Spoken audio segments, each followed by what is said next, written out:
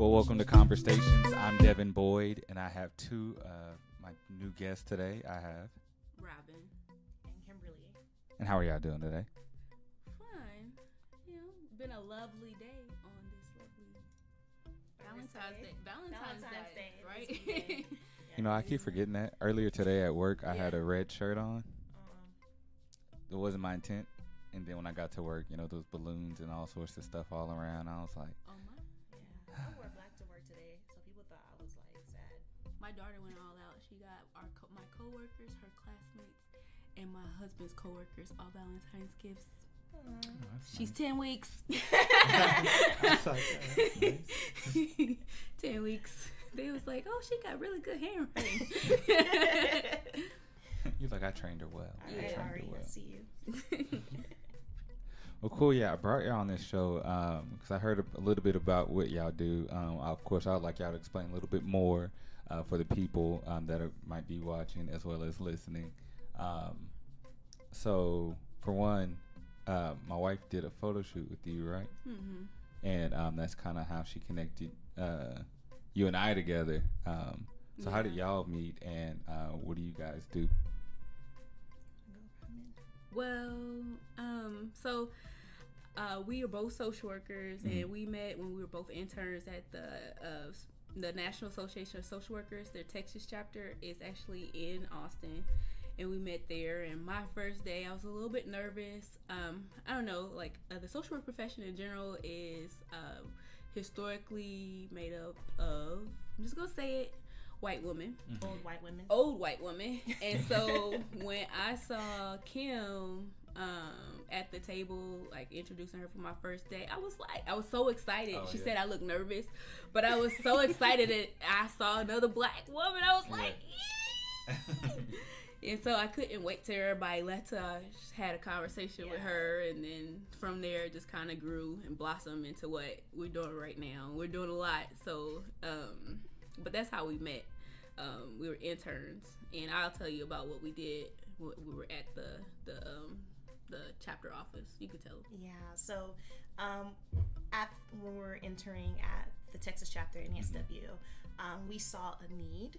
Um, we both came from different graduate programs. She went to UTSA, San Antonio, and I went to UT um, Austin.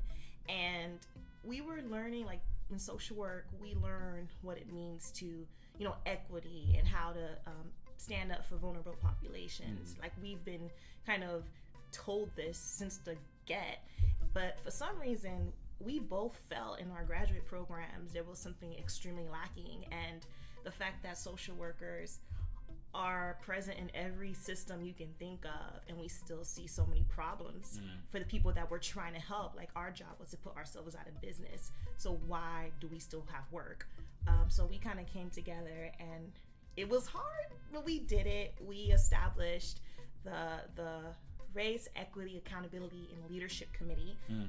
we call it real um, and and we're Keep real, focused like on Yeah. fighting um, talk being real about racism Yeah. um, and actually training up social workers how they should have been trained up while they were in school.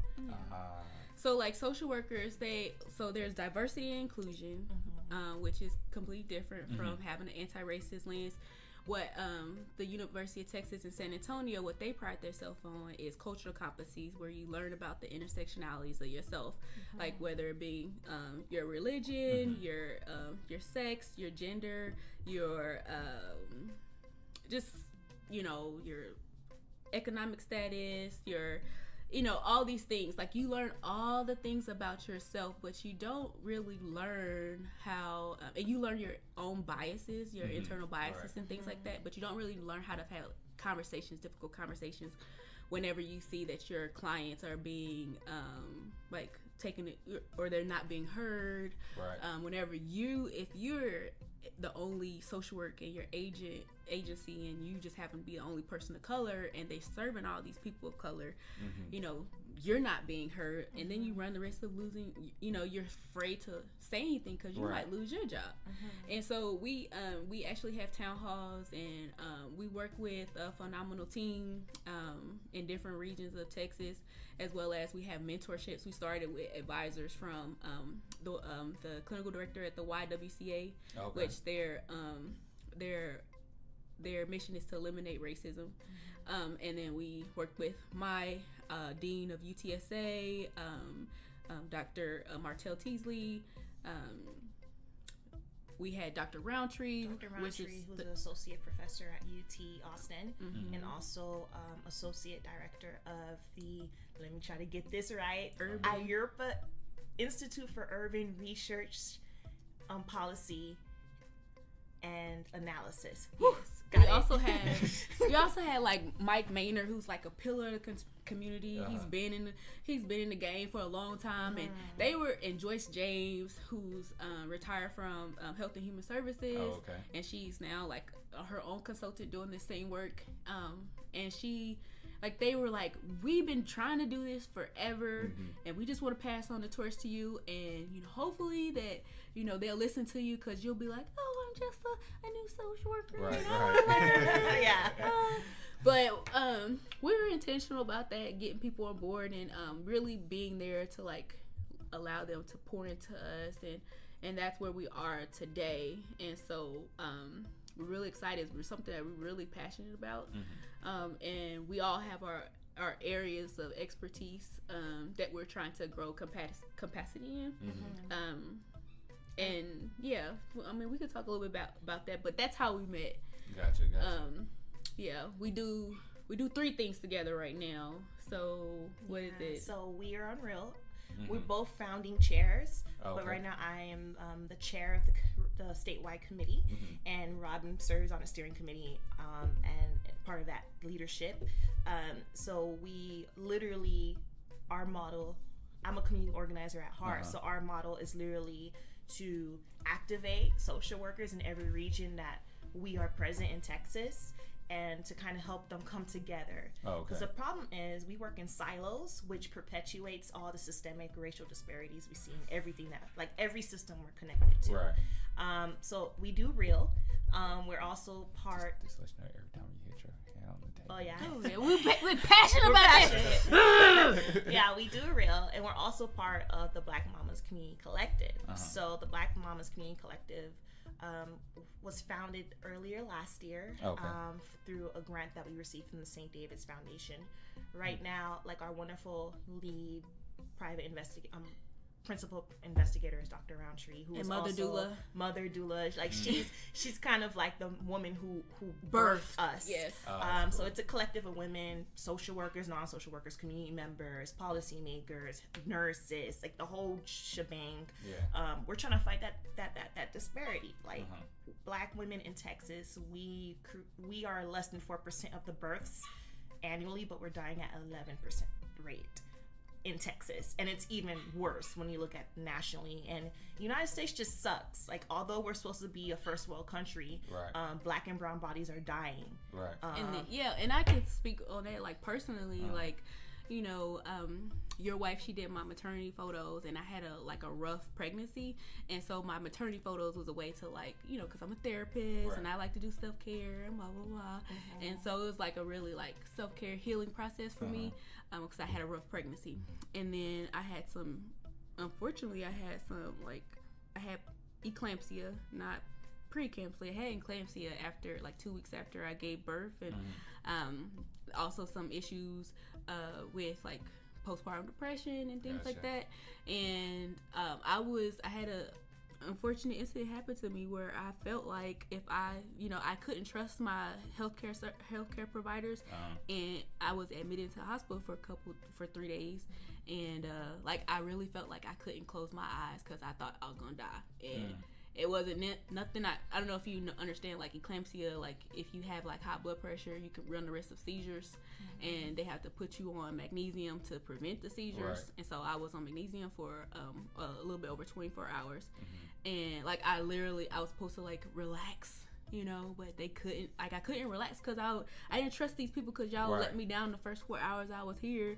You know what I mean? I don't, like if I trust them, they just go like, you know, I'm gonna die. You know? Yeah. Uh-huh. And so be real though, like that's Yeah. the problem. Like I- I black don't and wanna brown die. folks, we don't trust the health system in Mm-mm. this country. Right. Like our history, man, our history with the system.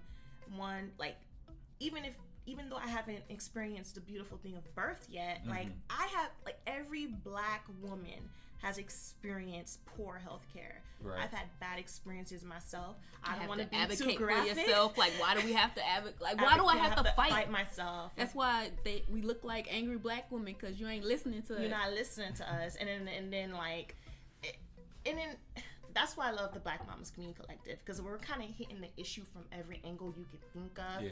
We're fighting, doing with policy. We're actually providing doula services Mm-hmm. to women, Black women in Travis County and Williamson County. We're trying to spread out to Central Texas and hopefully all of Texas, where we're providing that village support. Because we have, let's be real, black families, not all of them, Right. are able to have what white families have when it comes to birth. Right. You know, they're not able My mama didn't even know what a doula was. Yeah, You so- know, like she was like, "You're gonna be in the hospital?" I was like, "Maybe, maybe. What Mm-hmm. if I want a natural?" And I told her I was doing natural birth. She was like, "You better take that medicine." Yeah. And when I had eclampsia, she was like, "You can go home. It's okay. We'll take care of you." I was like, "Mom, I could die. I could die Right. in my sleep. Yes. Are you serious?" So I'm not ready to talk about that. That's fine. It's a it's, a, it's a little tra- it's It's a tra- it's lot. trauma it's tra- traumatic for me Yeah. but we do all other stuff too Yeah. so we also like also serve on the branch the NASW branch steering committee um, and she's like the nomination leadership and identification committee Mm-hmm. we serve on that um, as well as the business that we're We uh, just started we just started and um, we have uh, along with some women that are separate from our you know business we Mm-hmm. Have like contracts with UT University of Texas and other places and we're excited um, to where that's going to take us and I, I I'm fortunate to be able to work with Kim because she knows how I work and Oh, that's good. you know we Yeah, we we're good bounce off each other pretty well. yeah Oh, we're good, good. work work wives Yeah. Yeah. and uh, like I know, like I think on last Friday we were working on like four projects Hmm. simultaneously, trying to get awards. Awards of nominating people, getting people, and um, getting paperwork done for our Yeah. business. Yes, business. Contacting our contracts for Mm-hmm. net trainings we're doing with UT School of Social Work faculty and staff. Yeah. And then I, I scheduled a meeting with a, a government relations person with NASW. So because We we're work on policy. yeah for real, we're going to be at the at the national um at the Social at the Work Capitol. Advocacy Day. Yeah. Oh, that's good. We're going to be at the Capitol. We're going to do a town hall there um, Yeah. to talk about with with social work students. And so we just, you know, we enjoy doing this work. You know, if you find something that you love, Make Just- it make it your job. yeah, and it doesn't even feel like work. Work, yeah. And then if That's you cool. do it with someone, um, yeah, it's just like, hey sis, like you know, sister, my sister in love. It's always good just with a business period having a, a partner in the business Yeah. because sometimes, like y'all already said, y'all balance each other out. So it's sometimes it's hard just trying to run a business by yourself because then it's like, for one, you get stuck in a rut uh, probably more times than you should. But if you had that like other person just to give you some other idea Mm-hmm. that might spark, you know, that art idea may not be the best at the time, but that at least maybe sparked a different idea with you and that, you know, helps. So Yeah, really and you cool. can't always share your dreams with everybody because Yeah, they think you're crazy. True. true. true. I didn't true, share some true. things where I was like, I'm for real, Kim. I've thought about this, and this is gonna come to f- f- pass. And Mm-hmm. you know, even three years ago when we were talking about region leads for the real for real real committee, committee. it's like we already have what three We have leads. three regional leads. Mm. Like people, like we want to build capacity. We're trying to do like legacy work. That's what Right. mentors Yeah. like to say. But like work. Yeah, we understand like everything what we're trying to do what the, the work we're trying to do we can't do it by ourselves and i think we're modeling that in our partnership because like sometimes you're gonna have to tap out and you Right. need someone to step forward. Right. Yeah. it's- if and you I've tapped out before working yeah, with her. and then we, Mhm. we we go back and forth. and We make sure that no matter if you're tired, someone take over the car and, Right. and, and drive the next four hours Right, and then exactly. switch it. So we kind of got that good balance, and I think we're trying to model that for all the leaders that we help develop and colleagues that we bring to the fold. yeah, and That's the cool. thing about racism is going to be it's always going to be a whole It's lot of work. gonna be there. So it's gonna be a lot of work. so we're not worried about competing with anybody. Um, our our con- our our mentors are consultants themselves, and they do the work in other places. Right. It's going to be a lot of work. So uh, we're just excited to be part of the the, the charge. Yeah. Yeah, I said racism. Uh, I've heard the word before meeting with you guys, deconstructing racism. Mm-hmm. What does that even mean? So racism itself, I love to tell people that that word itself is its definition. Mhm. Like it's regarding race, but ism means a system. It's Right. a system that is based on race. That is Mhm. exactly what racism is. So when I hear the term deconstructing racism, is deconstructing the system that's based on race. And unfortunately, like look at our country. We were we were built on a system based on race. So a Mhm. lot of the things that we have to deconstruct is not necessarily oh how people feel, how people Right. bias. Like I always tell people that it is not my job to change people's hearts. That's God's job. Right. We are human beings. We are not God. But our job is to change the systems that we perpetuate Right. intentionally or unintentionally Mhm. to deconstruct the thing deconstruct the how race has caused a lot of people to be at the bottom no matter what no matter Mhm. what they do no matter how they start if you look at every system criminal justice system healthcare system education It's systemic. system Yeah. it's systemic because all these things are working in concert to keep us at the bottom because we were based on a black at the bottom that's how that was what we were founded on Yeah, and you know, just to sum it up, like race, um, can black people be racist? You know, That's a question I had on oh, here. okay. well, we'll answer that later, but you know, um, like the system was made by white people, and so. Um, it's based on like white supremacy, and so if you don't have power, you aren't able to be racist. Mhm. And so, um, race plus power is race plus power is racism. And that's not our definition. It's the People's Institute for Survival and Beyond. So, If you don't know about it, Google it. yeah, do it. Undoing racism training. We ain't trying to take credit for their work. No, so that's that's like that's People Institute for Survival it's in the and book. Beyond. They've been doing this Gotta work for way them. over for decades, Yeah. and um, like people don't understand that. Like we, like human beings, we're always gonna have bias Mhm. because we're human beings. Right. um, and no one person thinks exactly the same, live the exact same life. So because of those differences in how we experience life and how we how we view life, people are always gonna butt heads. Mhm. So I tell people like, yeah, black and brown people in the United States, we could be discriminatory. We can have bias, It's just like bias. white people. But the difference is white folks, the systems back them to the point that they can actually cause harm. They can actually oppress Mhm. because the systems give them that power to do so. So Yeah. they And it- yeah. And racist. unfortunately, you know, like um, black and brown people, like it's the system that was already built by like white supremacy. And we have a wonderful woman that we work with, Nicole um, Myson, who can break it down to you. She's a white her. woman. She's a strong ally. Um, but uh, sometimes black and brown people we could participate in that system by Mm-hmm. oppressing others because of the power that Mhm. we you know that we want um, that was built you know but we're all trying to be like what was um, the person that pe- people that have the power we're trying to be like them Right. and so that's why sometimes it looks like it could we could be racist, but we're Uh-huh. just perpetuating like the oppression, the internalized oppression that has been forced upon us Mhm. by this culture of white supremacy.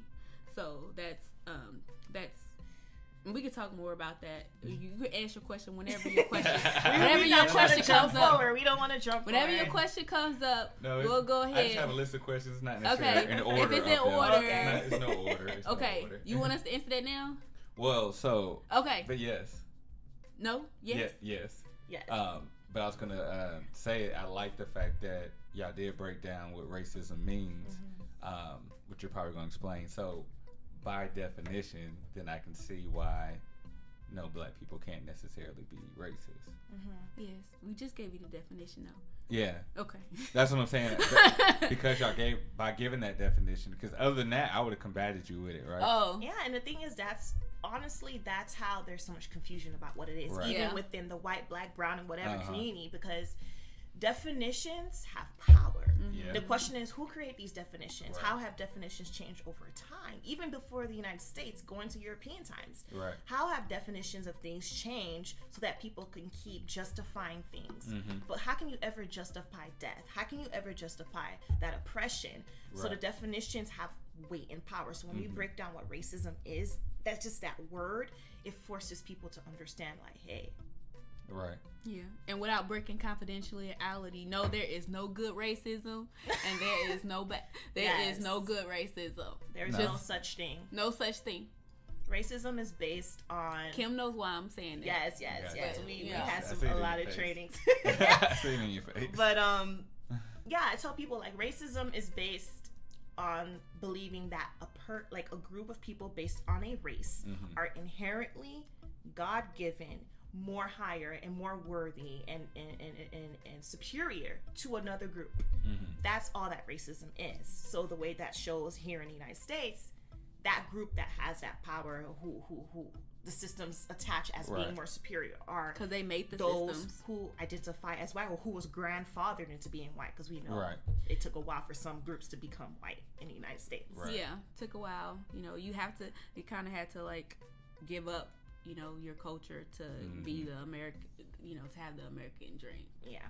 and so um that's and you said you said that's all it is like that that's the definition is simple It's very simple. It's simple, but it's so powerful however at it's so same time. powerful Yeah. it's not all that is like it's it's like so much that needs to be deconstructed like how can like how can like we just did strategic planning right Yeah. like last week on Mhm. for BMCC but like i can't even fathom like doing a strategic plan on how to like deconstruct racism oh my goodness it's like because it, it's so multifaceted, right? Yeah. Because it's so ingrained in society Mhm. and stuff of that sort. And I tell people like, look, yeah this is. I tell people, it's gonna take a lot of people. That's why we will never run out of work. Right. Um, No. And the work that we want to do, we want to do that healing work because Right. it takes a lot of healing for everyone involved. Mhm. Yeah. Black bodies, brown bodies, white bodies, for us to kind of move past that. and you and I know you said you said um and sometimes we disagree or whatever. Yeah. Um, but she said that only God can change your heart, you know. And so I've been um for in honor of Black History Month, I've been posting uh, Yes, Maya Maya Angelou Angelou. quotes Yeah.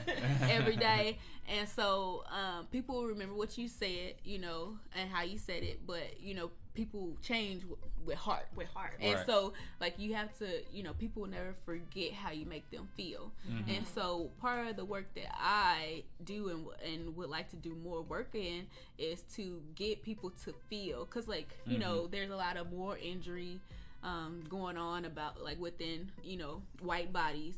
Um, like, hear, hear nothing, see nothing, say nothing. You know what I mean? And so, um, it, they have to feel it. You know, they have to be in a room with people and see how like th- this culture, this thing, Yeah. this system has changed people's lives.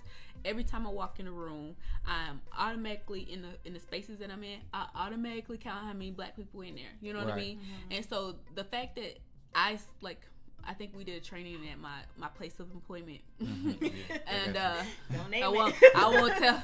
We did a place of appointment, and um, someone who was probably in his sixties. He's retired already. He said that he, you know, we asked him when was the first time that you noticed race, like that you were white or black or Mhm. whatever, and he said he didn't really notice it until he got into the counseling field and that was his second you know career Mm. and so and he was like i still don't really see it but then it was like people in the room people of color uh, black and brown bodies in the room and we were like i know i notice it every day i walk up into Right. like this this job this establishment Can you we know be real though? Yeah. Like, Yeah, this If is all you- about being real. yeah if i'm you, just if saying you if you are if you are in a brown or black body, and I like using these terms Right.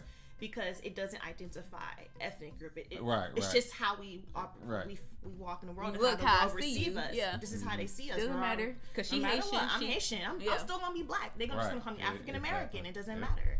she Um, from Ha- she from africa I am Well, African. yeah but yeah But, yeah yeah. yeah, that's a whole nother story Yeah, within itself yeah. like where everybody But I remember like distinctly, like I grew up from. in Little Haiti, Miami. Um, although I was born in Miami, like I grew up around Haitian culture. We Yeah. had our own little bubble, And I remember distinctly, I went to a, a Haitian, a Haitian preschool. I went to a Haitian church. I lived with my grandmother who didn't speak a lick of English. And I just remember when I finally moved in back with my parents, um, they were a little bit on a, a, you know, whatever. I was the youngest. I was not planned. So I was living with my grandma first, moved in with my parents, and I finally went into a school like second grade. I learned then that I was black.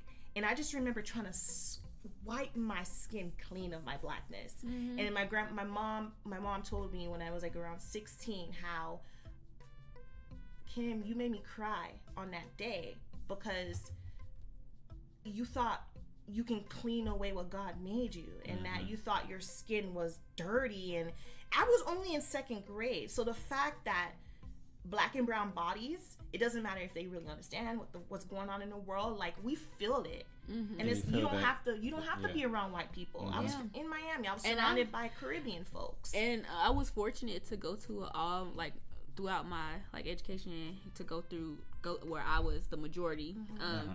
But I still felt that internalized oppression because um, my grandma, like I had like mixed cousins and stuff mm-hmm. like that, and um, my grandma was um, Cherokee Indian, mm-hmm. and she had long, beautiful hair. And so my mom and everybody else, they was lighter skin. Right. I was like, me and my older brothers was darker skin, mm-hmm. and they used to say my brother was light skin. They said his daddy was the milkman, mm-hmm. and so you know my hair when I went natural, like yeah. they had a fit, like um, just like you know, and you better get you a light skin, mm-hmm. you know, you better get you a, a, a light skin man with good hair, blah, blah, mm-hmm. they got good hair. So, like, you still, mm-hmm. like, felt that even if you, like, that internalized oppression, even right. if you wasn't in, um, like, a white community, a white community, yeah. or going to, like, when I first, like, like, saw the, the real, like, culture shock was when I went to, um, went away for college and I went to a predominantly white institute mm-hmm. and like yeah like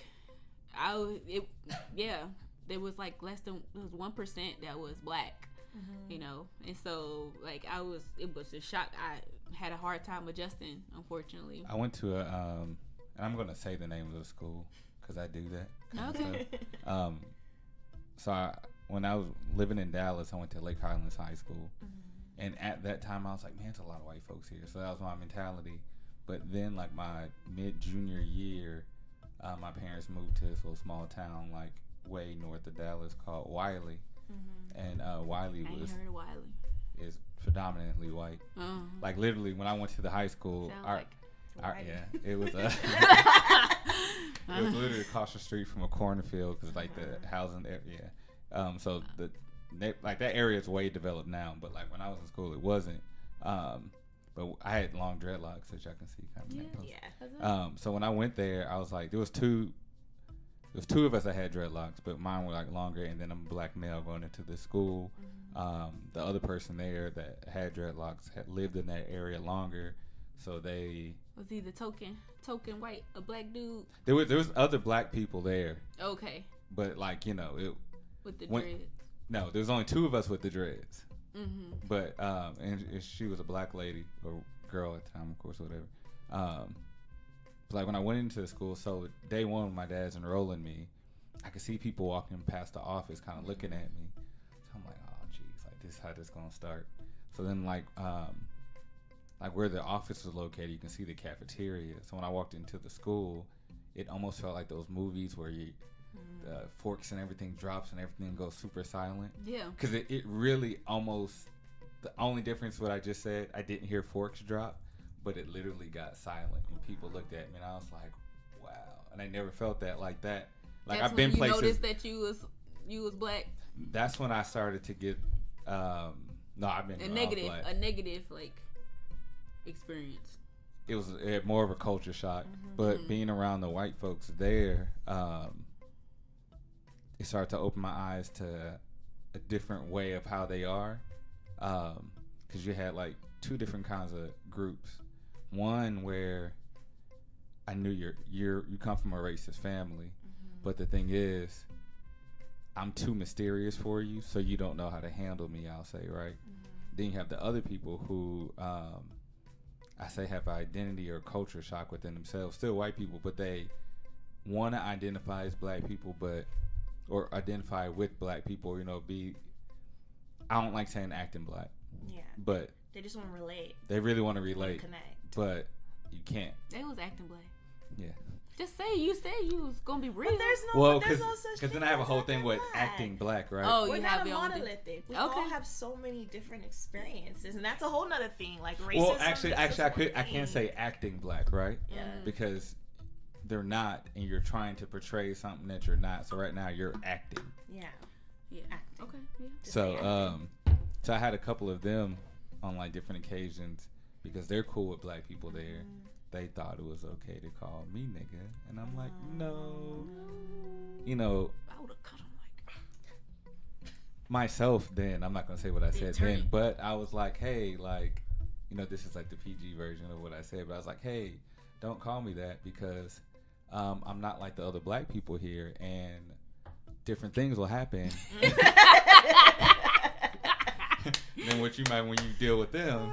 But when you deal with me certain other stuff is going to happen because i don't Mhm. come from that that background that they do. I come from a different light so they're like, oh yeah, I'm like, no, it's cool because I, I can tell you said it so comfortably because these other people let you say it. Or you say it at home with your peoples, and you know, I don't know how you how what definition Mhm. you using. Yeah. Are you using like we cool, or using like like Right. them them over there? To me, I just hear this is one word to me. But, But you know, right, that's what they in their mind. That's what they think. Like, but we cool. That's it's a Mhm. term of endearment. Right. Whatever. Right. But like being at that school also started to help me think kind of like what y'all talking about now. It's like the word deconstructing racism. I didn't know racism in that definition, so I'm not even gonna pretend like, well, you know what, I was way ahead and knew that. No, I didn't. but like, I'm like, this is just like wow, this whole experience, and it's like, okay, like You should do undo racism. I, I'm- if you want to to do it, you. we can get you in. I in. get you. I know some people You know some people who know some people who know somebody. who So, give you all the definitions. I'm It's down a, it's a life changing experience. It is. It is. I've only been to one, but you know, we, I've been to a lot of groundwater analysis training, and With that's like Street choice James. she's done over a hundred peop people's institute trainings. But anyways, Yes. yeah, you get to a firm understanding. Yeah, I like that. Um, because like like said, the whole point of conversations is to have these conversations. Yeah. To in the end result is to make a change and Mm-hmm. um, uplift and educate people on different things that they are what we say ignorant about, Mm-hmm. um, and make them open their eyes. Like, hey, okay, this is what this is, and we need to start. Like I said, healing. And I like that y'all said that because, especially like with racism, um, and y'all mentioned like being um, in your neighborhoods and feeling it, but Yeah. not even necessarily knowing what it is. It. But it's just like you're saying, all that energy has been perpetuated for hundreds of years, and it just kind of sticks with our people. So it's like, okay, how do we get past this? Because um, me and my dad used to always say, like, when black people we start trying to be like, okay, we start trying to get past it, then something else happens. Mhm. So it's like it, those wounds keep opening and opening. It's like, okay, what do we do? Because I hate to say it, but marching isn't working the same that it used to. Um, They found out how to, you know. But then violence ain't the answer either, because we can go kill a bunch of white folks, right? But what that's gonna do? Now we just murderers. All I can say, I'm gonna speak. I'm going to my Haitian hat now. Yeah, because um, living, being part of this ethnic group and having this Mm-hmm. history, and then also walking as a Black American, because that's how the world treats me. It took. I had like a lot of cognitive dissonance, but then there was a, a, a awakening that happened. What does cognitive dissonance mean? so Can- cognitive dissonance is when you hold two views as truth, but they're opposing Mhm. In your mind, in your body. I'm gonna say body because we like to get in our bodies. yeah. Like you literally feel as though you believe it's like you love both your parents, but they get in divorce, but you're trying to you can't pick and choose because you love both of them. That's Right. sort of kind of what it is with the ideas. so I, you know, because I I was really raised in Haitian institutions in Miami, and then when I started learning more about history of Black people in th- these United States, I realized there were two mindsets, and I feel as though every movement had these mindsets. And um, so here in Black history, we have those two archetypes: MLK and, and Malcolm X, right? MLK and Malcolm X perfectly mirrored those archetypes of Haitian revolutionary history, where we had Toussaint Louverture and um, Toussaint Louverture and Jean-Jacques Dessalines. Exactly the same. Mm-hmm. So if you guys don't know the history of Haiti, and I feel as though every black people around the world should learn the history of Haiti, because what you see is happening in Haiti right now is global racism, Yeah. institutional racism. Um, is that those two mindsets? Um, one of those archetypes, he wanted to be in with France so much, so he wanted to be able to be accepted by people. He wanted to be able to flourish in French society. Mm-hmm. The other was like, I don't care what they say. I mean, I am a human being. I just want my people to be free. I want all people to be equal. And Haitian history, those two mindsets, and in the decision to die or be enslaved or to die and fight for everyone's the the, the native people, the black people in the island at that time, that decision to do that is kind of what forced us to like helped us win our independence. Mm-hmm. We fought off France, we fought off England, we fought off so many European powers. They they just couldn't do anything. But so how did they enslave us? By globally the the economics How Right. does it like? Cause you know, you know, in our trainings we try to stay like in America. in United America. in yeah. America. So how does it like you know bring it back to like America and the other side that you fight with? The thing the thing that I remember is that you have to make sure that you get rid of the co-conspirators. Mm-hmm. Not like kill them like Haitians Right, did no, in yeah. history, but like we literally killed the black people who were trying to get in with the enslavers. Mm-hmm. So if we didn't cut them out, silence them, put them away so they can't ruin the revolution, then we were able to overthrow and fight the system and change it. So here in the United States, in my head, I'm like, okay, there are a lot of black people who are still trying to try I to want to be. get rid of them. I don't want to get rid of them, but they're Mhm. even in our families, even to this day, Right. there are a lot of people who are oppressed who want to get in with the oppressors. Yeah. And that will never happen. And until people are willing to sacrifice and to make sure everyone is equal, That American dream. that um, American dream, we would never be able to change the who's the uh, the the group in power in the United States. And it takes a lot. Like it's hard because it's a different system, you know. Because we were founded on this. Haiti was founded on equal equality for everyone. We even call the Polish people our brothers and black brothers and sisters. Like black is our Negro in Haiti. We call mm-hmm. everyone black even if they're not black Yeah. like that's a that's a word of empowerment because that's what they used to mess us up back in the day so it, it's hard like i have to battle that when we're doing Yeah. work we're focusing in the united states i'm always in my head trying okay People how like I'm Caribbean. No, I'm Caribbean. I can't get rid of my Caribbean. yeah it's not it's beyond the caribbean it's just that mindset and then seeing how the system really messes us up messing up. it messes us up mentally and it messes us up like heart wise mm-hmm. like you're willing to hurt another human being and like even putting the spirituality into it i tell people like racism is perpetuated because you you're you have to break your humanity in Right. order to dehumanize someone else Right. so when we look in these books and we see these kids you know Oh, my back hurt. I'm sorry. I had Oh. postpartum stuff.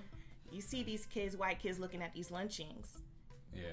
unfazed and that's what like robin was talking about like white people got to heal too because Mhm. you're able to dehumanize other people and not feel like there's a 'Cause you don't feel justify that yeah you justify dehumanizing a whole nother group Yeah. And like you're saying, the fact that they're desensitized by that, Mm-hmm. um, and it's. Yeah. She It's- said a lot. like- she I said, said a lot. It's hard Yes. for no, me, no, but like, it's just like So sometimes I'll be you're like- my desensitized. cognitive dissonance is hard because i have to transition like- and see how it relates Be like, come up, to the come united up, come- states How does it? but you asked me how like the cognitive dissonance plays I was, trying itself I was trying to like. so that's how i see it like if you de- Cause we use this. dehumanization man Is that a social work term or is that like a term? I think What it's a term? psychological term. It's cognitive. cognitive dissonance. dissonance is in psychology Yeah. Uh, yeah. So you, of you know, we need to, you know, can't just be PWI, all the acronyms and cultural competency and all that. Yeah. Diversity, inclusion, like, and even racism has its own like, like the definition, like, Yeah. Right. the, like, yeah. But like, I'm definitely glad y'all gave that definition because when you did like that, it helps it helps It with just opened my eyes a whole another like it really helps level of like different thoughts. But yeah, I when made it- myself at home. with Oh no, it's good. Like this is like Okay. supposed to be. You're supposed to be chill. We're having like relaxed We chill, we conversation. chill. Yeah. Um, but yeah, it is sad that like how not even just the the white kids are desensitized. I see even like younger black kids mm-hmm. are just as equally desensitized. It's almost like even when I see the some of the younger generation get mad, it's almost like they're getting mad because that's what you're supposed to do. Mm-hmm. But it's but sometimes I feel like they don't really feel the anger, like right? Almost like they're just following. They have the talk. Till you have the talk. Right, and that's oh the thing. yes, Exactly. yes, The talk.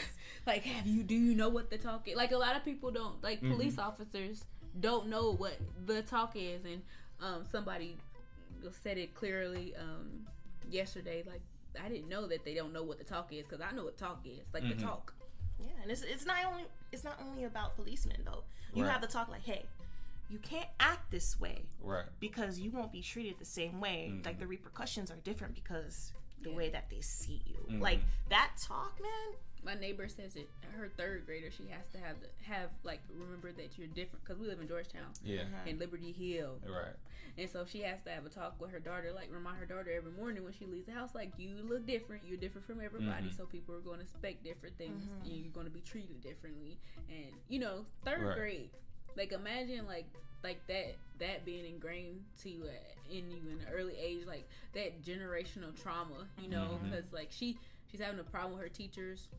And she's like, she had to run a lap, and she was like, "Did anybody else that talked without raising their hand had to run a lap?" She was like, "No."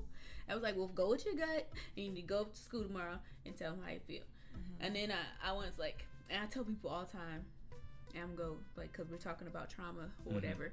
But we, um, and I can, I have a lot of cases with trauma, cause I work at a, um, I work in the clinical field, like Right. at a hospital. I worked at a hospital, but it was this um, 16 year old man. This is the time when, um, uh, when Fidel Castro was was Oh, was okay. killed. Yeah. Um, so the 16 year old male, he uh, came in with increased paranoid delusions, Mm. um, and he had thoughts of to harm others, and so Mhm. he told like teachers and stuff that he wanted to, you know, he couldn't go to sleep. He was having nightmares about Right. somebody killing him Mm-hmm. and you know and so if you saw that on social media about like it was all up on social media and even like history like with with everybody else you know the young black man never dying Mhm. like why is that diagnosed as like you know I don't know if you know like terms or whatever, but I like paranoid schizophrenia Yeah. or whatever. Like I had, I got another client on my caseload with paranoid schizophrenia, but he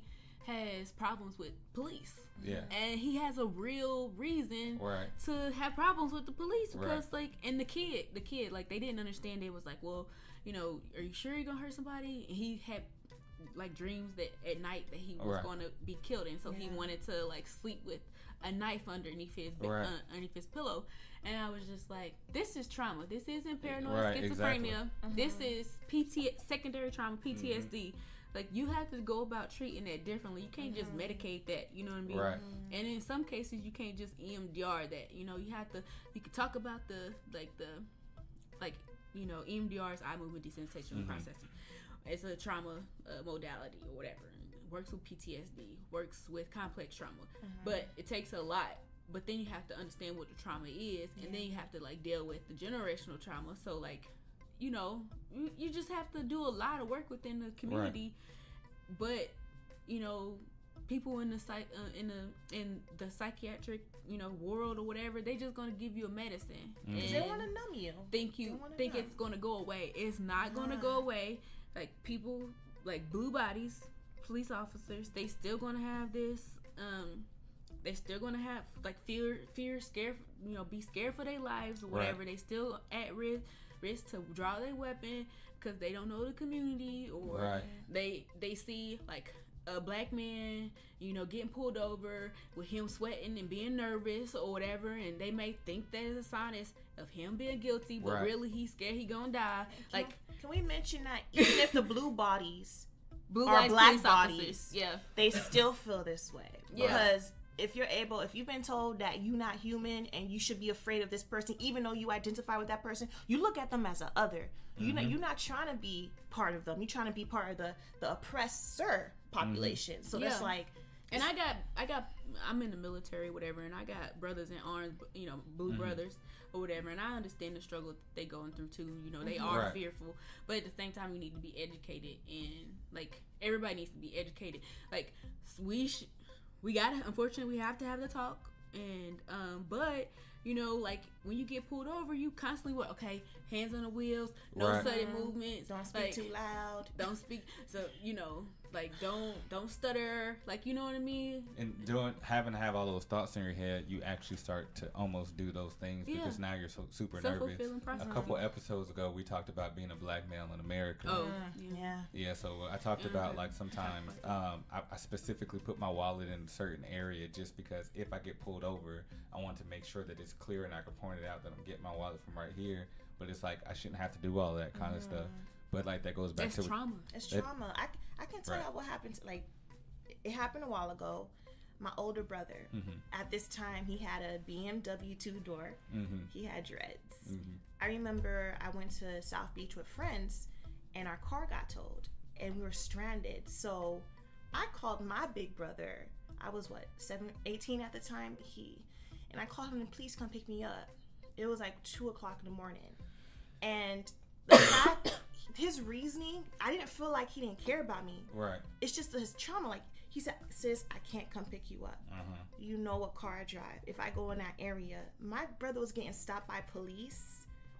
Like that year, he got stopped seven times because they didn't believe that he owned that car, Right. and he was more afraid that if he stepped out, something would happen to him before he came to me. Right. And I, as a sister, and, and, and like did you understand it I understood at that Oh, time. and I was yeah. like, it's okay, Nancy, don't worry about it. Right. Right. I called another friend yeah. because like I didn't want my brother to go through that trauma again. Right. I was stranded in Miami Beach, but I, I like I, I, I, I did not want my brother to be further Right. traumatized.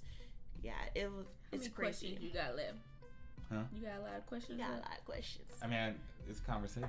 oh it's conversation it's not like an interview No, it's not no interview. oh okay no, see, that's because why I we can can, you gonna have to cut us off You gotta I cut us will. off. 'cause we, this is our the thing is, it's, passion not, it's not so much about me. It's Yeah. about the knowledge and information that y'all are going to be providing to We got me and to the people. Psh. We all got knowledge. I mean, just the fact that look, I could have ended this whole thing off of once y'all gave me the definition of racism. I would be like, that's it. it. Is it? Like y'all heard that? Like that is it. That's all oh people need to know. sorry But no, I'm saying, we but do like that that's- whenever we do trainings with people. That's like the first thing we do in training is like the definition of racism, um, because y'all had to be on the same page. And sometimes we'll Mhm. have like a like I remember at my job or whatever when we tried to do the training, we had I had a whole day planned, but we spent an hour and a half talking about the definition of racism. Like And I, and I think, like Like- y'all said, that is very important It's the because people foundation. them understand get what it is. Like if if you don't know the foundation, we can't. we move can't have a conversation. Like you can't start a book, tell a story, ca- and you on page thirty and I'm on page two. We not gonna be able to talk about the same things. Right. Yeah, You know. because you all and we and we usually take the time to like if one person is like left behind and We they like, and nah, they and they have the guts to say that they don't They're- agree with something, then Right. we we spend time with them Mhm. and through that because like. If they if they saying something, but everybody else in the room not saying, it's, it's somebody else in the room that feel the same way and don't have the guts, right. and so we like we y'all come along with us, cause it's a journey.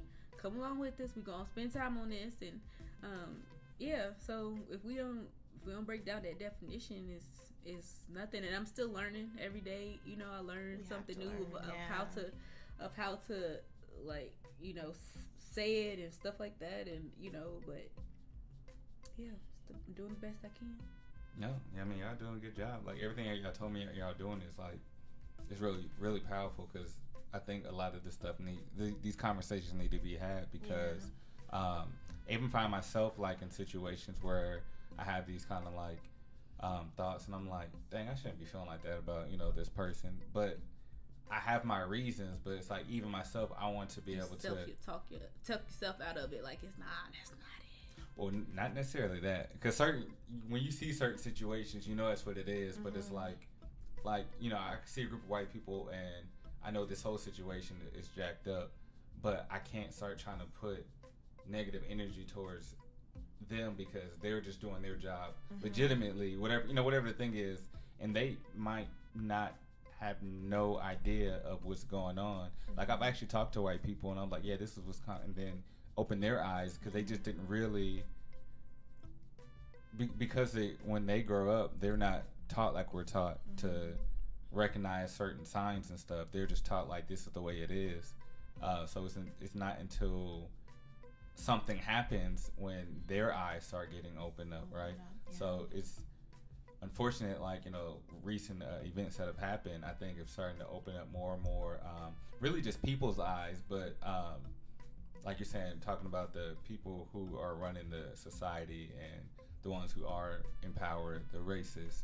Um, I think some people who initially identified with those same individuals and demographic of people are starting to change their their minds about it all, but at the same time they don't know what to necessarily yeah. do. So like sometimes I see like you know white people do march with the um, Black Lives Matter movement and mm-hmm. um, donate to NAACP and all this kind of stuff. Like they'll be a part of it, but the thing is, I think they just feel bad, but you don't know really what you need to do. And y'all mentioned Nicole. Nicole Myson, yes. I did uh, go look her up, and I started to read and look at some of the stuff she's doing. So stuff like that, and what y'all doing is like I think those are the things that actually need to happen more, because um, there is a lot of fear that people don't want to um, jump out there and do what y'all are doing mm-hmm. because they feel like um, that you know the repercussions of it, or that they'll be judged, or you know, or they'll lose their place in society or in the grid or whatever. Mm-hmm. But it's like yeah, my mom and grandma the other day. Um, well, my dad he he used to be like previous president of the Indi- uh, Indiana Ur- Indianapolis Urban League, mm-hmm. and so but my mom and grandma on my mom's side they were just like, be careful about that. You can't to do that and all that mm-hmm. kind of stuff. And so she's scared scared for me. Mm-hmm. Um, but you know, you said like like understanding like it's like a blessing and a curse, you know, because like sometimes sometimes we desensitize ourselves from it because it's like a defense mechanism right. to like not you know to not feel what we feel right. or whatever but once you have the lens like you see it everywhere you mm-hmm. know and yeah. so that's the that's like the curse because like i'd be like i know and then you like have to say something you know um but it's a blessing because you understand that this ain't right you mm-hmm. know um but the curse is that everything you see is like from anti-racist lens. Like you right. know, you start like because it's, it's more prevalent it in the world and society than people yeah, like people to, believe, believe, But it, yeah. it, like you're saying, it's a system. So it's like the whole entire system, and we're in the system. So essentially, everything is designed a certain way. Yeah. Um, I was about to say something that I shouldn't have because I was going to. oh, sorry. reflect upon my job, but. oh. But there's like large companies, and yeah. I've talked to people in large companies, and they felt like um, certain people can't get in certain places, even though you know there's HR and diversity groups and all this kind of stuff, and maybe even the CEOs of that company mm-hmm. don't even realize that because you know they're, they're a large company, but you know there's a larger company that's really that has this basically in order for them to have gotten what they where they're at they had to follow this system so they're in that system in that grid and you don't even understand that yeah you control stuff here but there's a bigger like mm-hmm. machine that's machine. controlling how you how we're allowing you to move as freely as you are yeah. so that if you let that trickle all the way down to like us um, the people um, who are trying to fight against the system that's why it gets so harder and I've, I've spoken to different black people and they're like, well, no, you know, all people, you know, we have the same opportunities. You know, some of us are just lazy and blah blah blah. Da, da, da. It's like it's not so much lazy. Now, there's some people who are lazy, yeah. yes, yeah, but you can't say it like as a uh, as a, a, masses because um, it, it's really hard to function, especially like you're saying, having that lens. Um, cause I know I've kind of had that lens as a young age, so I, I've seen it all the time, mm-hmm. and then I had to learn how to desensitize myself a little bit because to, it's like to be sane, uh, to live, to be sane, and to live. Because right. it's like, well, I need to get this job to so I can pay these bills and all this. So I have to like yeah. step out and like at least code switch. Code switch. Yeah, there you go. Yeah, Code so switch and like, like turn off this for Yeah. one moment. Yeah, it's funny because like you you talked about like your job. Like we both have nine to fives, Mhm. and you know, um, my my nine to five does great things, and they support the work that I do. Mine's And so, too, yeah. and so I, I don't mind mentioning my job because they support the work that I'm doing, and they want us to come. They want us to come and continue do training on Right. this because they realize how important it is. Because we we are all about. I'm a therapist, Mhm. um, and we're about healing. And so if we need to reach, we got to do what we got to do to reach people. Right. It's not about us. Yeah. And so they're willing to step outside.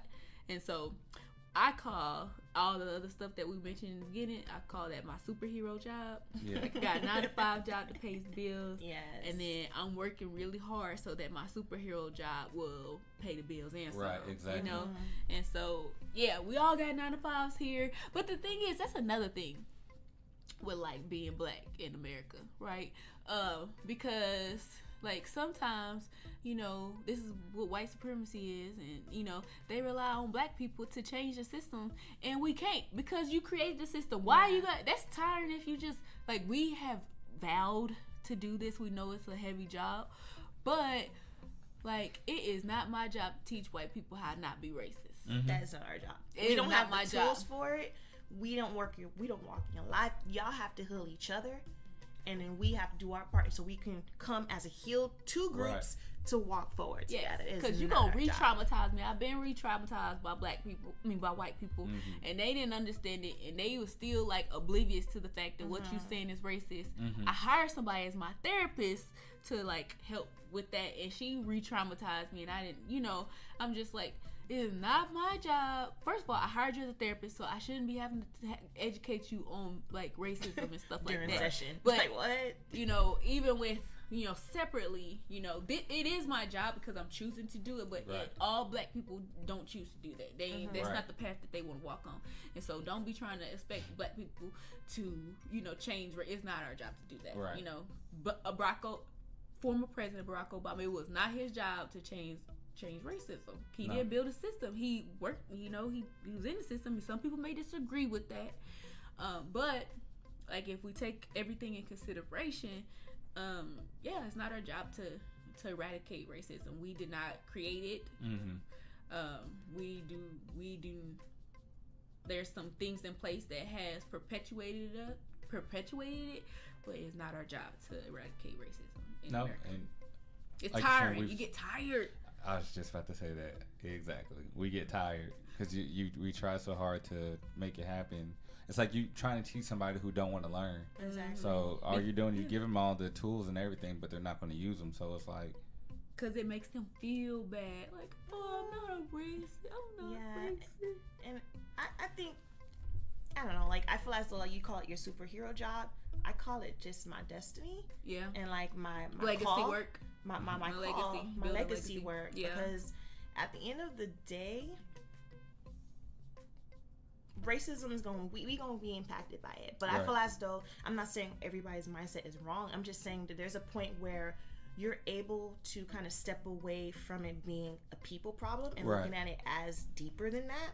Like I keep going back to that break in humanity because I'm a very spiritual person. So that's how I'm able not to get tired from it. That is what fuels me because my goal is to help people become whole. Like you, we Mhm. are broken. Right. All of us are broken. And when you're able to look at it in that way, you have a little bit more heart. Like I have, there's a lot of us black brothers and sisters out there hate white people mm-hmm. to the max. And me, when I look at that, I say, I understand why you hate white people. right, I'm not gonna try to change your mind.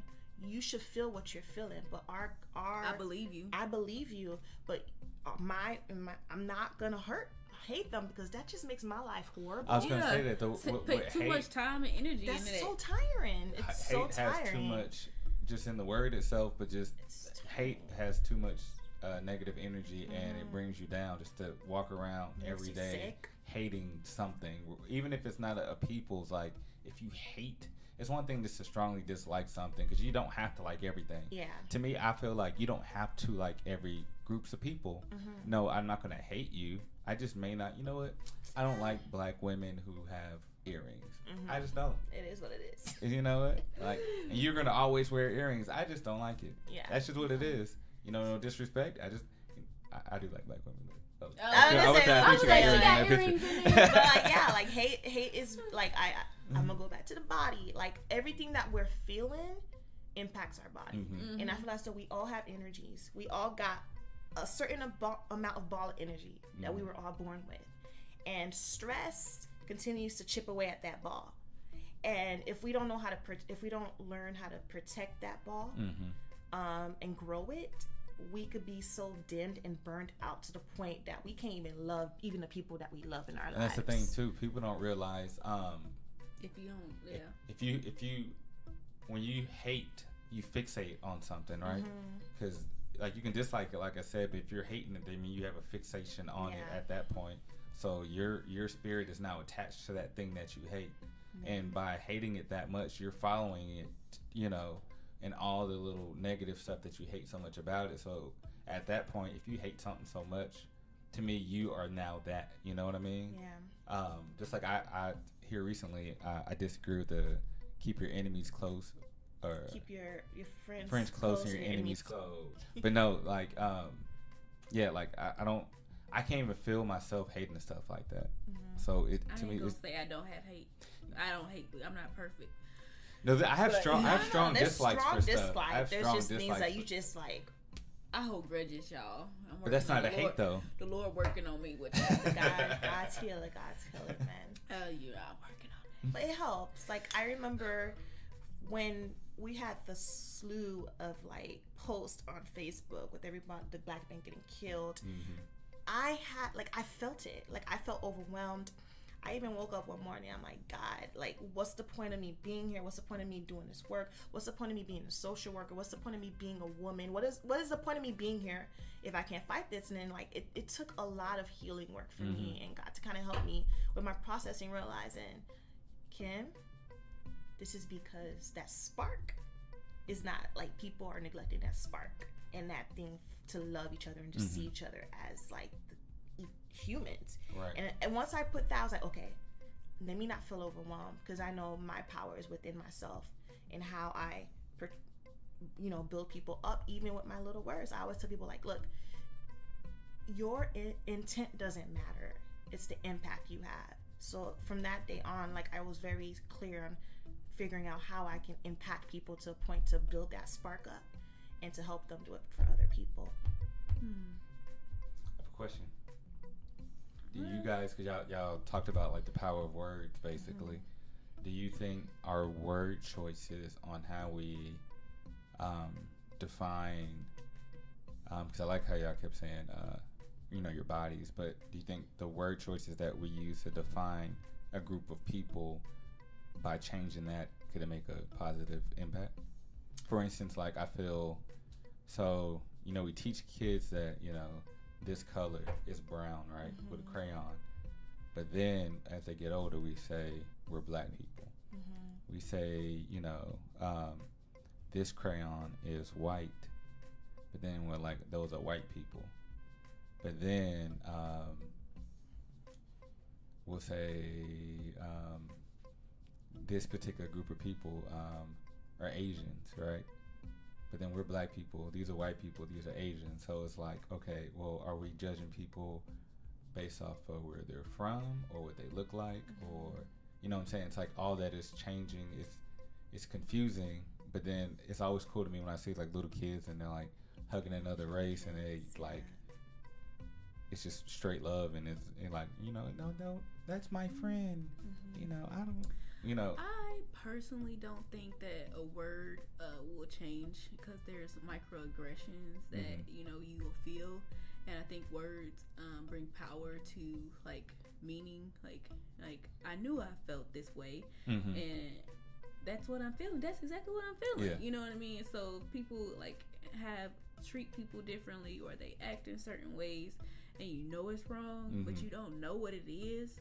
You know, you don't know. You can't put your finger on it. right Like I think like words give power and meaning, and so um, they could actually, um, you know, they can bring they can bring life or they can bring death or whatever. so Uh, I heard but- like words basically only aid what's already there Yes. Yes. Mhm. I think so. In my opinion, it may be different. Um, I, tr- I at one point I tried to you know not use the N word and things like that, and you know, but sometimes you just gotta be like, you know what I mean? You know what that means, Mhm. and so um, but even then, like that's that's something that's gonna be like that's internalized in Right. in our history so much it's going to be very difficult to eradicate but um yeah i i tried to i don't know i tried to use to not use it but it, it didn't work Yeah. so but it still but it still but it still didn't change the fact that people saw me as that Yeah. you know Right. like even if i didn't say that word people still saw me as That's that some kind of negative Yeah. something. Yeah, whatever- black or- they called you. black or black or white you know Yeah. that that's what i was viewed as Uh-huh. that's how you felt i was Right. just because you're not using the word you're trying to change the word that doesn't mean it it still doesn't mean the same thing you Right. know what you want to say it just Yeah. give identity so that ident- i- identifier hmm so to say. I think for me, I um, I don't think words in themselves have power. I feel as though the development of definitions of words from society, like what what kids they come, you teach them red, white, blue, orange, and then at as a child, you don't have any feelings elicited from these words. Right. But then as you get older, based on all the data that you collected from your experiences Mhm. growing up, each color, each word, if you want to use color, starts to elicit some feelings, either a Right. negative feeling or a positive feeling. So I feel as though it's important to start helping.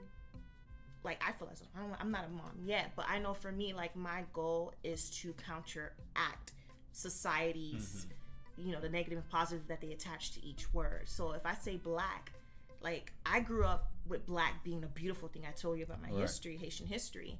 So when i came here i realized black as i got older kept looking as a negative thing. Hmm so in order to contradict that i started to uplift blackness as a beautiful thing as a godly given thing as a majestic So you thing. changed the meaning. i changed the meaning. So i feel as though like i think it's important that word doesn't have a problem like power i think the definition is behind the words and Mm-hmm. how society either um, forms it and throw it out as negative or positive is the most important thing. I don't know if that answers the question. It does. It yeah and Yeah. then when you say and when you say racism you know for white people you say racism like you gotta you gotta understand how your body feels, Feels, like yeah, your they're sphincter your your sphincter like Uh-huh. quenches and you know you just don't feel right you heart know? starts to palpitate a little bit the nervousness feel clammy. You know what I mean? Yeah and so, you just kind of like like racism within itself you'd be like ooh, ooh. Mhm. when you hear that word it like makes you feel some type of way Right. you know versus just putting it out there Mm-hmm. you know or how you say you know the n word like negro you know you I have different different versions of it Right, like you right. know what I mean how you say Yeah. it you know how it said has different you know but it's just it's a word but then like the meaning behind it the definition or um like how it makes you feel you'd be like you know that's yeah. yeah Because at the end of the day, like I know a lot of white folks want to say that word. Oh yeah, they, you know, I was watching this video on YouTube. like, do all white people think the same? And one woman had a nerve to say, oh, you know, they put it in the rap songs. Didn't that give us permission? I'm like, first of all, hip hop was not for white people. That was a, a form of you know art to express their you know for the black community. So, but I, I tell people like, look, if another person called me Negro, my body does not elicit any negative thoughts because it's coming from something that is the same as I. But if a white person calls me a Negro, no matter how fancy and beautiful they say it, my body has a Like, has your- a your it- my body will be your like intention. because it's coming from a white body, Right. and because the way my black body and black bodies like mine in history have been Mm-hmm. treated, that's how that's gonna be. So there's no way a white person should e- ever be able to say the N word and not elicit a negative emotion in another. Person. I used to ask them like, why do you want to? Like, why? I mean because I think it's like a cool They think it's a thing. fad thing. you know, uh-huh. like And- they want to be a part of something. One, And one thing, sometimes one I, culture. I, I want to appreciate that because you're you want to say it not from a negative space, but You can never, you can't do it. but it's, it's it's got too much history and like the energy behind it. Like I think the majority, like the majority of people who say it want to say it. They don't want to say it because of the term of endearment. They want to say it because They want to be able to say it and get it fly from it. No, no, that they really mean it. Like go in Texas, in Indiana, Mhm. like you've heard. I've heard some. You know, when people ain't hearing, you know, Right. they they mean it a different way. So Right. I think Okay. the majority people they don't say it in front of black people, but that's they they mean it and they have a negative Can I say something that's kind of off topic? Yeah. Yeah. It is, but it's not. I went on a little Facebook rant the other day um, that I'm still not going to look at comments if anybody made a comment. But um, I just Oh. it made me think of. Oh, Uh, dang. I mean, that's the whole point. It's like I don't have to feed into. Anyways, um, but I talked about um, how I feel like celebrities and companies, if they get caught saying the the N word, they should just own up to it. Mm-hmm. Like, don't don't apologize for saying it because that's not gonna do nothing. Don't come back and say no statement and because I feel like. Sorry, I can hear my dog barking. I got I still got Paula Deen's recipes. I got her. You know what I mean? That, that's the other thing too. Sometimes Yeah, you're still you're still meatloaf. gonna you're still gonna su- not necessarily support. You're still gonna buy whatever the Mhm. the thing is. And for the most part, I feel like a certain generation of white people they already said it, and they're gonna continue to say it because that's what they grew up on. True. So I'm like, I don't I don't know why people get so surprised. Like, When older Paula people do Deen, it, somebody I'm like, when was she born? Right. Like, come on, people think about Like, that. I'm surprised. I mean, she I don't condone it. it, but I'm just saying that the barbecue meatloaf recipe and the, the old fashioned recipe for it, like that's I printed them off last week, but I've been making it for my. I think that's how I got my hubby. That's his fa- That's his favorite. Like I put Favorite both of the rest. Yeah, I put them both together. Had the old fashioned and the, and barbecue. Have you had meatloaf with barbecue sauce on it? It's the bomb, right? Yes. And so, you know, you Sorry, know, there's a lot of But- foods that I'm learning about now. she Oh, hates okay. it. She weird. I'm like, meatloaf, what's that? You know, so, Loaf of meat. It's delicious. okay. It looks as weird as it sounds, but it's good. You gotta Okay. shape it like a loaf. You shape it perfectly like a loaf, and Like then a you bread put loaf. Like a bread loaf. Oh, okay. and then you put some sauce on it, ketchup or barbecue I, sauce. I guess you mm-hmm. gotta make it for me for me to oh, figure out.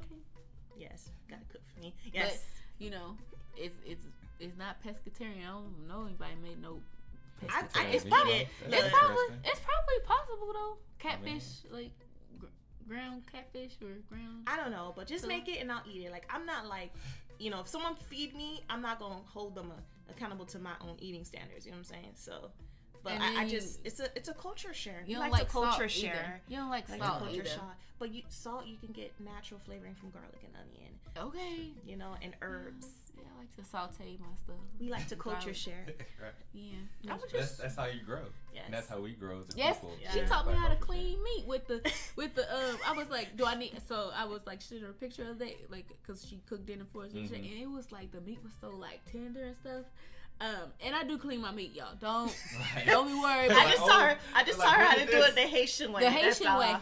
Now she puts vinegar, um, like Lime. lime, salt, and I, I didn't do it like that. You do it like that. You shake your head like you know. I know about it. It's almost like what it's called curing. I think is what it is. I don't know what it's technically called.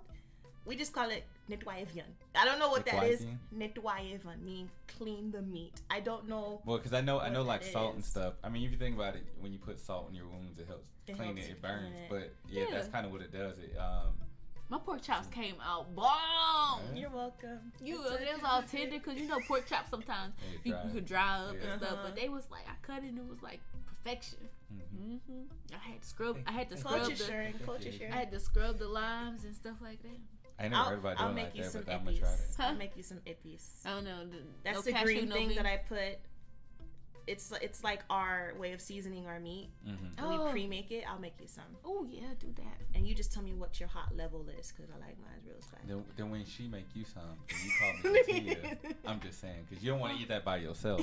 Well, I I actually like to. Um, I'm not. I'm gonna say I like to host. She host loves events. hosting. I do. You know, so I just had like a- teaching. we had a uh, Very good. Fourth of July. Um, we had a lot of melanin at our Fourth of July seafood boil. That was my first Uh, seafood broil, and I fell in love. I taught her how to. Oh my god! I'm from Indiana.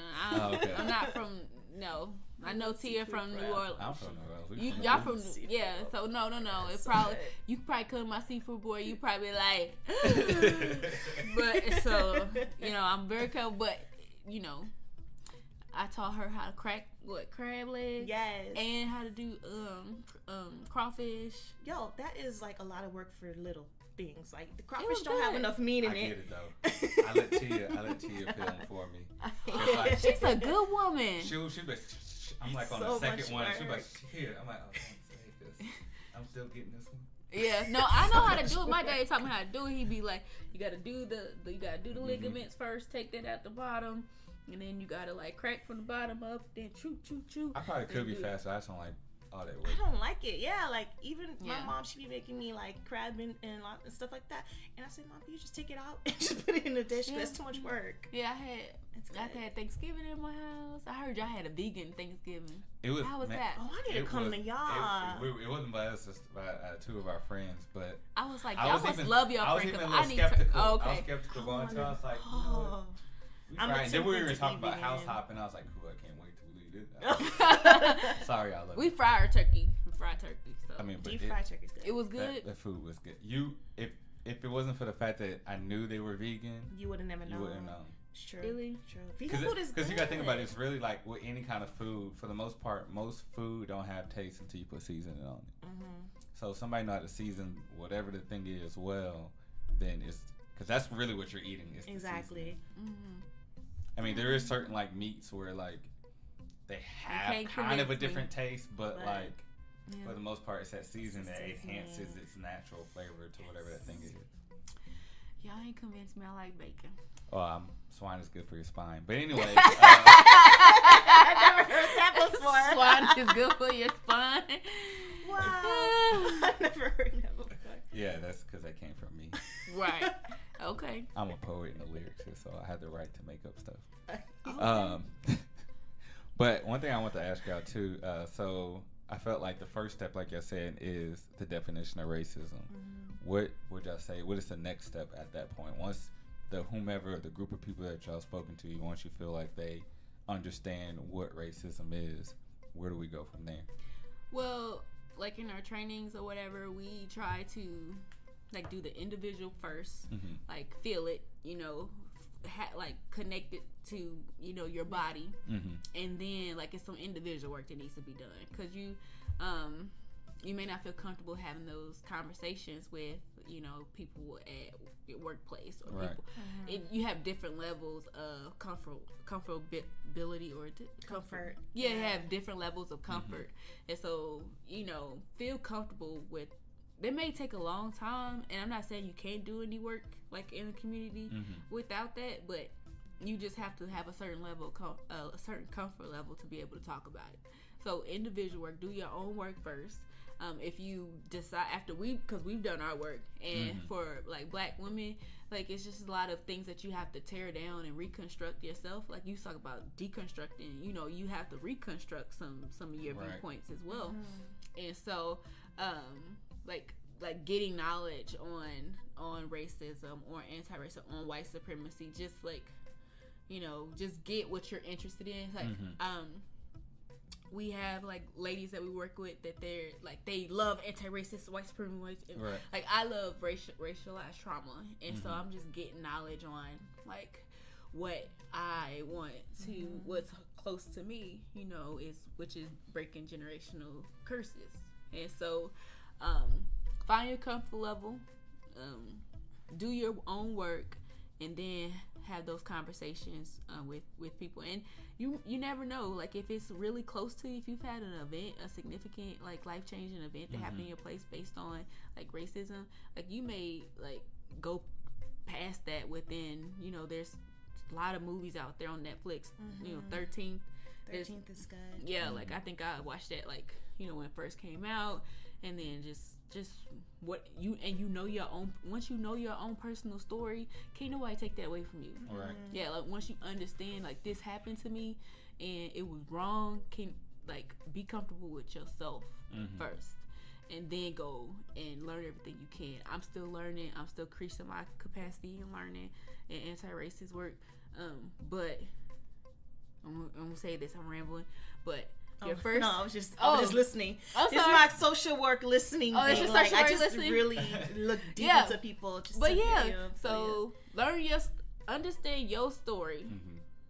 cause can't nobody take away how it how it made you feel and how you feel. Can't nobody say, well, you know that's not true. I'm like, it, I felt this way, so you Mhm. can't Right. tell me that I didn't felt this way, and you need to respect my feelings, right? Mhm. That's my therapist coming Yeah. in, right? my communication, like I feel. Right. Can't nobody take that away from you. And then go from there. You know, find your comfort level. Um, get involved. Be around people that look like you. Like if you're black, be involved in conversations that look like you. That having intentional conversations about racism. Mhm. Um, and that's a whole nother area because that's where healing comes from in the black community. Um, churches, um, the barbershop, beauty shop, like those type of building those communities. That's what really helps with the healing process. Mhm. Like having a safe, not safe spaces because like a you space know, where you can be vulnerable a space where you can be be vulnerable, real. where you can be Um, uncomfortably, you could be comfortable being uncomfortable. Right. Yeah. Right. Yeah. So, and then I mean, then you go from there. But that's I think that would be the first step. Like learn your understand your own story first. and it's like thing to do when it comes to understanding your story. We tend to romanticize our thought, like our our memories. Mhm. Like it takes a lot of effort to kind of tear down those, you know, walls that we put around these memories and really see the memories for what they are. Mm-hmm. Like, yo, this happened to me, and this was actually racial trauma. But I actually going deep into these memories and kind of understanding that will help you shape your story. And um, you got to be that feeling. You got to allow yourself to feel. Can we? Can we all say that? Don't desensitize Don't yourself. something's desensitize wrong, yourself. something's wrong. It's probably wrong. because that's that's how like racism the system in here in the states that's how we've grow become what we are right now as a black community in the country like we don't talk about trauma whether it's racial or not we don't want to talk about oh they did what to who we don't talk about that in the family we want to we want to hush it down and then that's so not good Such for our mental community. health Right. not for our spirits, not for our souls, not for our bodies. So like it's important to be okay with being in pain. Mhm. Be okay with being in pain. But that's good pain. Like they say, you know, when you're building a muscle, you gotta tear that muscle a couple times, rebuild it. But if you never tear that muscle, you're not gonna build the strength. Um, and like I know one thing, like the strong black woman thing, I hate that thing. I tell people I am not a strong black woman. I'm a human being. I need to cry. I need to feel. I need support. I need to be able to feel what I'm feeling and get the support that I need. I Like can't. black do crack.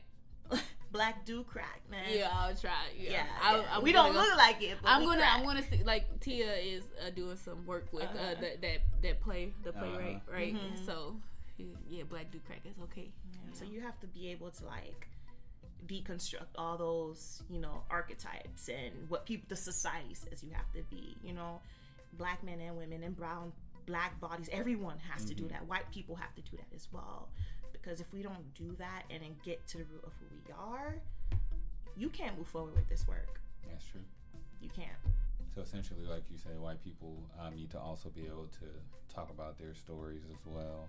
Uh, maybe on the reverse side of it, yeah where within each other Yeah. and keep each other accountable because it's hard it's really dangerous to do it like across the Mhm. groups Because you might be re-traumatizing you might people. re-traumatize Right. like i've had that like Yeah, we've had that happen, unfortunately.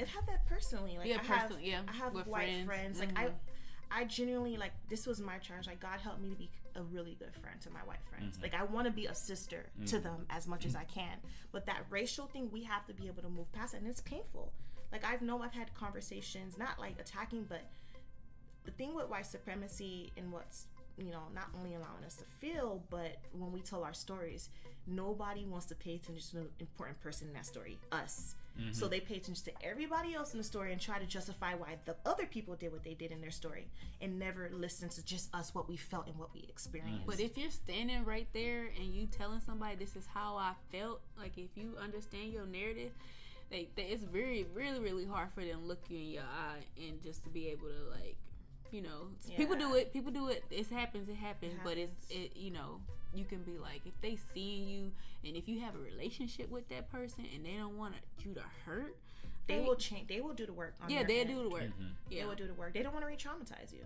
Mm-hmm. they don't Right. want to re-traumatize you But like I said, it's good for those people too to also go check into the feelings that you're giving to them, right? So like if I'm telling you like, yeah, I was here and this happened, I felt this and this, um, it'd be good for the individual receiving that, whether like to be a white person or another black person that's just like, man, you're just making this racism stuff up or whatever. Yeah. To actually go look into that and like basically fact check me, right?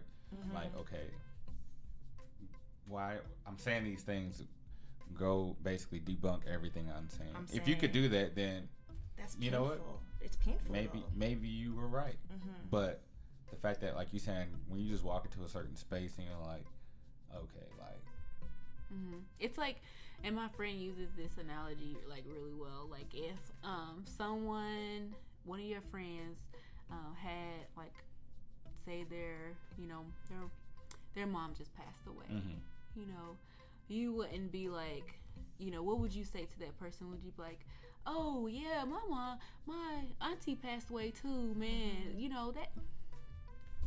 Yeah, it happens. You know, like you know, you would try to. Con- it's you like would, sympathy versus yeah, empathy. yeah, Yeah. You, like you, but that just like prove that you just trying to take, you know, take you it don't away from them.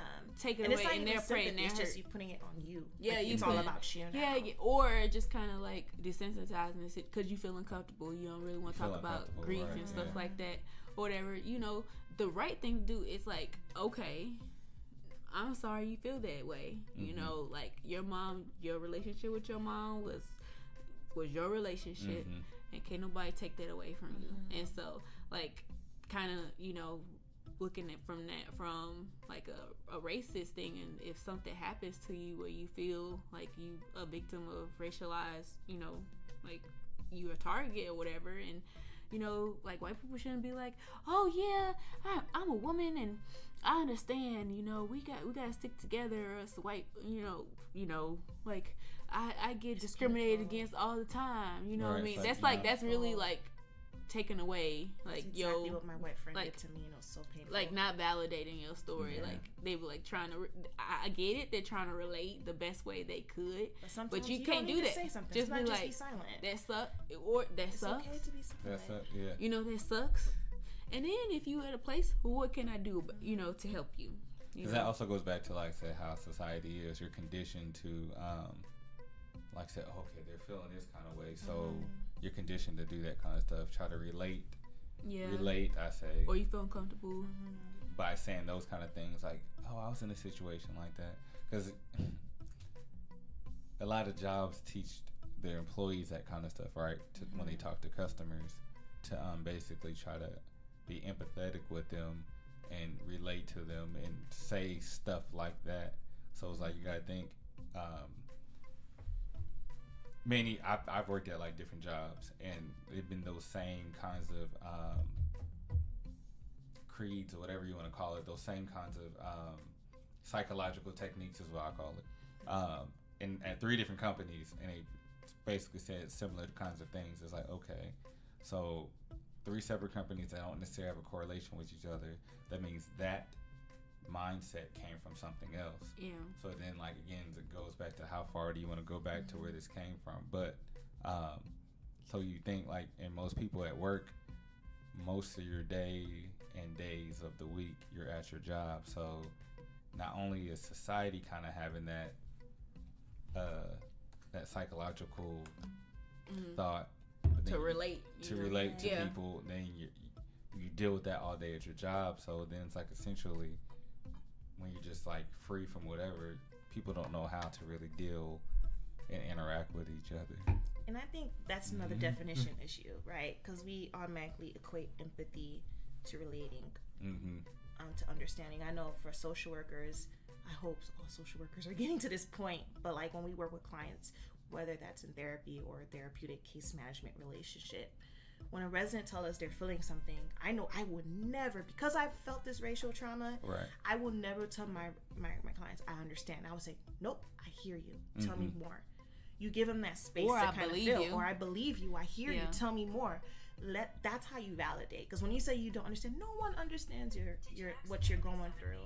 Um, but like we we there's this thing called like we don't self disclose. Like we don't put our own experiences in unless it's therapeutic for the client. If it benefits If them. it benefits them to help them get through something. So there are makes some sense. bad Mhm. social workers and therapists out there because you know They social put workers their own self they put their own stuff and they take over. because they feel comfortable. they co- like in my situation, the white person felt comfortable. Um, I'm felt sorry. uncomfortable being, you know, like about what was happening with the things that happened in Charlotte, Mm-hmm. and she obviously knew that I was I was a social worker. She's a social worker that I did stuff with real, Mm-hmm. and she wanted to hear what I had to say, and she tried to take it upon it to like I was affected by that when I wanted to talk about something completely different from that. in her session. But you know, I was just like, let's just agree to disagree. And she knew I'm a veteran, so she was like, "What do you think about the flag?" And blah blah blah. I was just like, "Uh, I don't really want to talk about this. I did have some stuff. I had some stuff written down. I don't want to talk about." And she felt bad. She stayed extra thirty minutes, but I never went back. Oh, yeah. Um, but she felt uncomfortable. She was like, "Do you? Well, do you think if people voted for Trump that they're racist?" I was like, "I don't know. Like, lady, stop That's putting your the- stuff yeah. on me. Yeah, That's she's not the my therapist. At that's that not time. so she was Yeah. only focused on herself you know and weren't worrying maybe she was worrying that i thought she was you know that she thought i thought she was racist i didn't care anything about that so you know until you Mhm. able to you have to do that individual work right. And, and not just understand like your your bias your where your mm-hmm. intersectionalities are or whatever. Not understand not just understanding your bias but also just like this is not about you. You know what i mean? Like why are you trying to make me use me as your client someone who's vulnerable you know if i mm-hmm. already shared this in this power dynamic this power differential relationship mm-hmm. you know why would you use me to make yourself feel good? Like if you feel you feel guilty about being a racist, I don't. That's between you, You and and, who you. It's funny that that response. I've seen that in a, a lot of white people when you bring forth racism to them. That's how they respond to it. Basically, they're just on the first mindset of how do I prove to this person that I'm not I'm not racist. Yeah. Yeah. And sometimes It's like, cause I might not even said you. I, I, I, I honestly might not have thought you were, but now that you're getting mm. real Defensive. defensive and weird with Yeah. it, now I think, what are you trying to hide and protect at this point? So now, now you seem like you might be a racist because, Mm. like, what are you? wh- Why are you? What are you trying to explain? There's nothing to explain because I didn't accuse you. Right. I'm just saying like this and this happened. I don't this care and if you had a black roommate. I don't care Oh, if I your, had a black friend when I your was cousin, little. uh, your cousin married a black guy, Oh, my husband's black. I don't care about My, my wife is black. It doesn't matter. It's not like valid. So- You trying to val like I, that doesn't mean that you still can't be racist. Or I remember going to a, a podiatrist and uh, the I wasn't getting like the doctor's aide or nurse Mhm. or whatever. Um, it was a, a white guy, and I think I had like a you know RBG like wristband or something on, something that identified that maybe I might be um, pro black or whatever, right? But you know I'm talking to the, the white guy like because you know it's cool. I just Mhm. talk to people like. I ain't one of them people that always got somebody got to throw blackness out or nothing like that but I can tell like at some basically he he he brought up that he, his wife was black. But I can Mhm. tell through our conversation. you should justify his. My wife's black. but he, he I could tell at some like he'd been wanting to tell me. Well, he was excited, right? I get yeah. He- ad- admiration. Like, yes, black. I'm, I'm with you. He was trying to say I'm an ally, but Right. at the same time, I mean, finish your story. But like in a conversation, I don't even know because he kept like saying like different little stories, right? Mhm. And I was just like, okay, like can you defend this? You know, Yeah, can you just? I just came here for my feet, please. Give so at some some feet. point he i felt like he said all these other stories just to get to this one story so he could figure out a way to throw this story in there i think like we were talking about food or something and Mhm. something in food and this and you know You're trying so- to get your support first. yeah Yes. just talking about food in general he was like yeah because you know uh, my wife um, i'm assuming you're married to a black woman right i was like yeah He's like, well, because my wife is black too, and you know, sometimes she cooks this certain thing. I was like, oh, that's why. All this That's stuff all this. He had to set it up. Yeah, so you just really want to tell me that you had a black wife, and just to see, I guess, like,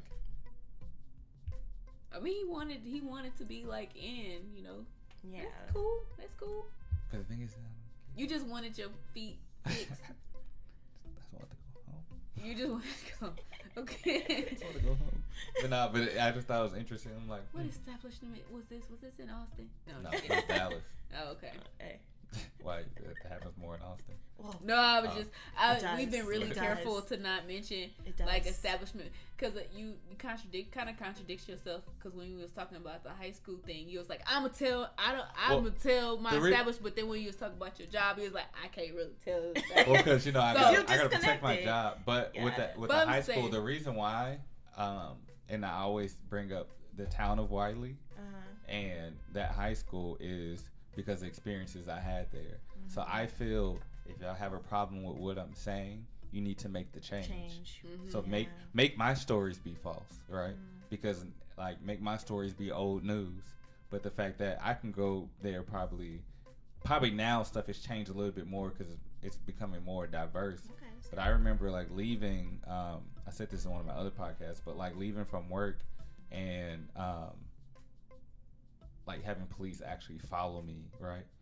Like I'm and I'm passing up like a gas station. Like I'm not Mhm. speeding, doing nothing, and like I see them speed out of the parking lot to like tailgate me, right, and have their brights on just to see if I'm gonna trip up or whatever. Um, at the high school, that high school I went to, I think it was like day one or two. I had a coach, you know, run up the stairs behind me, pat me on the back. It's like, "Are you the new running back?" Didn't even stop to like have a conversation with me about it. That was just like that. I was just like, "Uh, what?"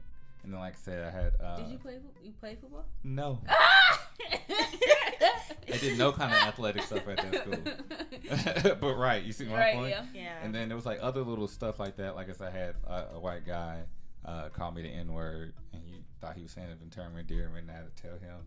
Um, but then it was like different things like that, and I was just like, it's a weird vibe at this school. But the flip side is, I think the majority of the staff and people they were afraid of me because I didn't conform.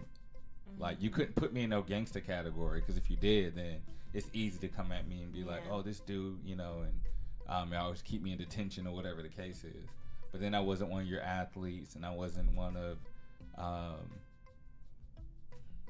one of the other little black kids or whatever that you felt like you Token. can control. Huh? Or the token Yeah, I wasn't no token, so it's like Yeah. you you can't place me anywhere Yeah. and I stood off to myself. So it's like we can't we can't clock this dude. So I'm Mhm. like, Yeah. I knew that before I came in here. That's why I'm doing. Spe- All this was strategic, and so it's funny. Like I'm getting off subject a little bit. I used to break dance when I before I got to that school. I break dance at the other school, and I got there.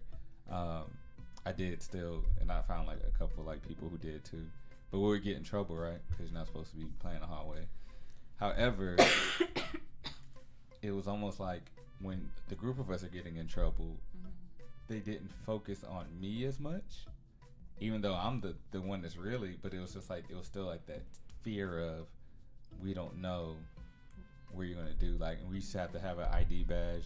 I didn't want to have mine because. you was just You know, But then have I was I was actually then after I started realizing that, then I started doing more stuff just to see like Mhm. How they would respond. right. I brought a knife to school accidentally.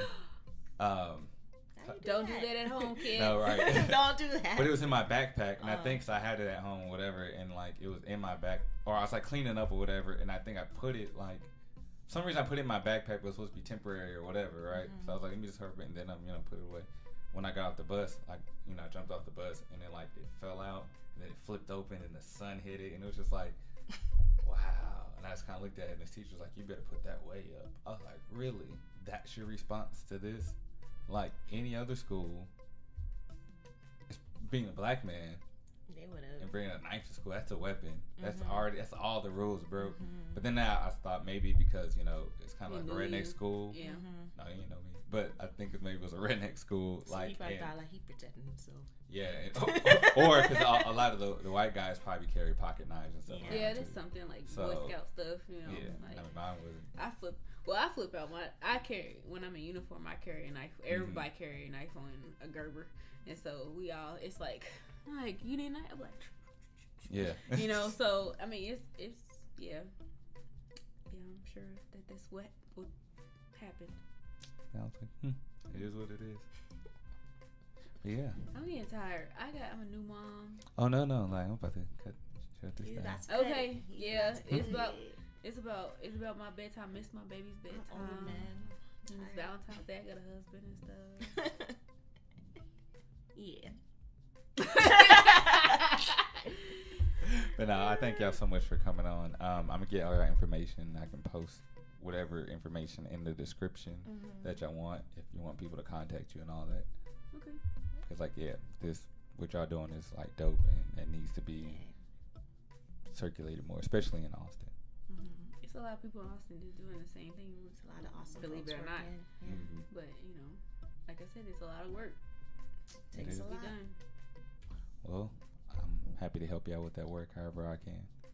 So thank y'all for Thank staying. you for giving us Thank this you for platform. No us to problem. Thank y'all for coming we didn't on. even talk about our business called the Growing Edge. The Oh, growing yes, edge. The Yes. Growing Edge. You want to explain the Growing Edge? So that it's that place of discomfort, like Mhm. when you're on top of a cliff and you feel as though you're about to fall over.